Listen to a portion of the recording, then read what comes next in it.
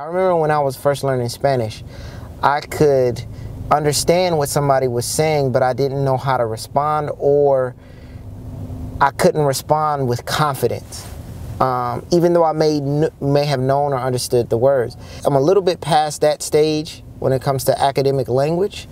Uh, my last semester in school, I used uh, I, I, every book that I read, every uh, word that I heard come out of one of my professors or colleagues' uh, mouth that I see in academic writing, I wrote it down um, on my iPad and just made and compiled a list.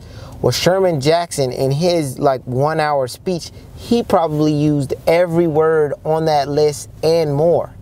So, over the years of, of him being in academia, he's mastered it and he could he could use that language in a question and answer session where he's not just reading a paper that he wrote.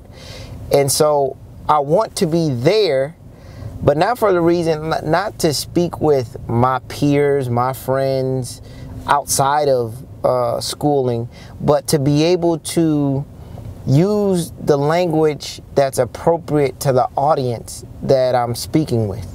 Some people just want they want to get you know feedback, and then there's others who are like me who who are who are just um, trying to uh, master uh, the language. So um, I'm, I'm really enjoying myself. This is this is wonderful.